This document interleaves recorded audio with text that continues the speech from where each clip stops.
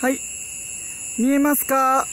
今、月が傘、か傘をかぶるっていう状態になってるんですけど、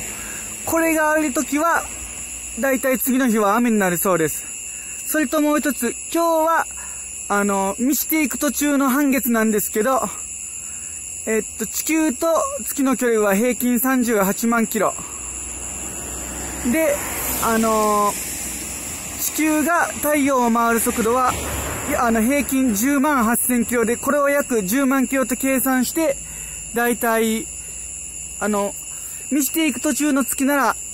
あの月の、あ、まあ、月の距離を40万キロと計算して、だいたい4時間前に、今月があるところに地球があるんだよという話をすれば、まあ、小学校高学年ぐらい、高学年以降の子供には受けるそうです。あと、